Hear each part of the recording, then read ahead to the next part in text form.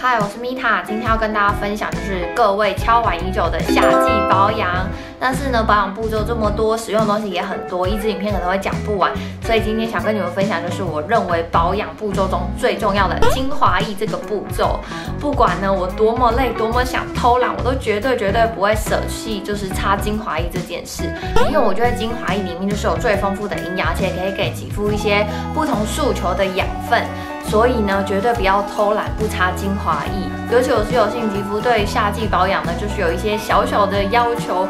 如果太油太黏呢，上了底妆之后很容易土石流，而且更容易长一些粉刺、痘痘等等的。但是呢，如果保湿力不足，底妆也不会服帖，而且肌肤也会出现一些干燥啊、粗糙的问题。所以呢，我对于夏季保养的诉求就是既要有保湿力，但是又不能太油腻，给肌肤过多的负担。那今天呢，我想要跟你们分享的是两款我非常爱用的精华液，以及就是它也是网络上评价非常好、非常热门的两款精华液。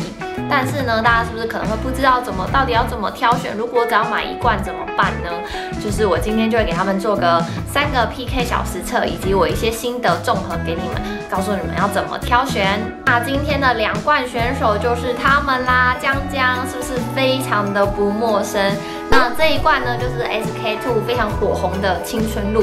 其实我也在影片中分享过很多次，我真的很喜欢用，然后也用掉很多瓶。那再来第二罐呢，就是这个碧欧泉的奇迹水，是不是？我前阵子影片的空空想才出现它，然后马上就是有一瓶新的又要继续使用了。所以呢，这两瓶它的定位都是在精华液，我真的都非常非常的喜欢用，也一直持续有在用。首先呢，青春露的质地它是比较偏水状的，就是它擦起来流动性是比较高、比较清爽的。碧尔泉的奇迹活源肌露呢，它的质地呢也是水状，但是它稍微浓稠一点点，它的流动性就没有青春露这么的快。但是呢，它也是一个清爽的质地。这两罐其实在网络上也非常多人会拿它来做这个湿敷使用，所以今天的第一关 PK 呢，就是拿它们来湿敷。那为了呢，不是只有我讲我的使用心得之外呢，我还搭配了这个有水的测试机，就数据可以给大家参考一下。虽然不能够说百分之百的很有根据或是很准确，但是呢，我觉得可以搭配我的心得跟这个数据给你们做个参考。首先呢，我的左半边脸跟右半边脸都会各擦一瓶，左边呢是 SK two 的青春露，右边呢是碧尔泉的奇迹水。那在使用前呢，我们先测试一下现在脸部的状态。左脸呢水分是四十趴，油是五格；右脸呢水分也是四十趴，油也是五格。接着呢，我们就来湿敷个三分钟。左脸呢，它的水分达到了四十六趴，油变成四格。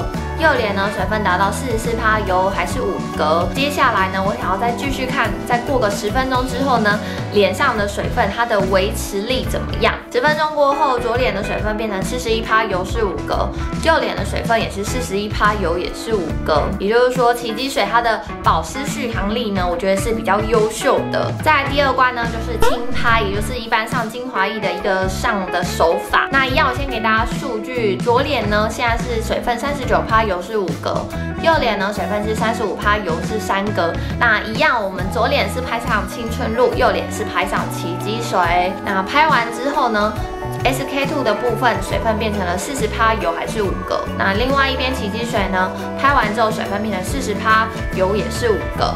在综合前面两关 PK 的数据前呢，我们现在进行第三关。比如说我刚才轻拍完之后呢，左右脸各上完了底妆，先给你们看一下现在底妆的状态。这边左脸是青春露，其实一样算蛮服帖的，但是呢稍微比较干扁的感觉。那摸起来呢是比较清爽的。那右脸呢是奇迹水的部分，它的妆效一样是很服帖的。然后我觉得它的肌肤就是感觉没有那么干扁，稍微比较有一点。润度的感觉。那最后呢，我就来跟你们分享一下这两罐的心得，综合了我前面的一些数据以及我日常的使用心得。因为这两罐我都用了不止一罐，所以我对他们的心得其实是非常丰富的。那我先跟你们分享一下这两罐的特性。它们都是定位在精华液。那碧螺泉的这个奇迹活源精露呢，我觉得它的保湿力是好的，而且它的锁水力稍微会比青春露再更好，所以它的保湿续航力呢，我觉得是很不错的。那青春露它的使用感受就跟它质地一样，就是非常非常的清爽，然后稍微有一咪咪的控油效果，它可以给肌肤瞬间的补水，但是它的保湿续航力就没有这么好。但是呢，我觉得青春露它的定位并不是就是在帮肌肤保湿，它主要是可以温和的代谢肌肤的角质，就是让脸比较透亮那样子。所以两罐呢，其实它的功效诉求其实并不太一样，可是用起来呢，我觉得都是非常清爽，所以我也都很喜欢，就是为了看肌肤肤的肤况，然后去挑选。一大多数的时间呢，其实我是白天会使用青春露，就是妆前的时候，因为我是油性肌肤，我需要上妆前有保湿力，但是是比较清爽的状态，所以我就会选择青春露，然后它又有一点点的控油效果。晚上睡觉呢，我就喜欢用这个碧尔泉的奇迹水，它的保湿力比较好，而且它的保湿续航力也比较厉害。就是你可以晚上经过一整天的休息，然后隔天起床呢，就算吹完整晚冷气，我也不会觉得脸会干巴巴的状态。那如果你是肌肤比较干的人呢，你就可以白天使用这个奇迹水，因为它的保湿力很好，但是呢，其实它是不会油腻的，它是比较润泽肌肤的感觉。那以上就是这两罐 SK two 的青春露跟碧螺泉的奇迹活源精露的 PK 分享。其实没有要比较出他们就是谁比较厉害，谁比较好，因为我觉得保养品就是适应每个人的肌肤是最重要的，因为你要挑到适合自己的保养品，它就是一个好的保养品。所以呢，这两罐我的使用心得就分享给你们啦。那希望你们夏天也都可以有一个清爽保湿的肌肤。那这支影片就到这边啦，更多的极动态生活状态美食分享，记得追踪我的 Instagram。下支影片见，拜拜。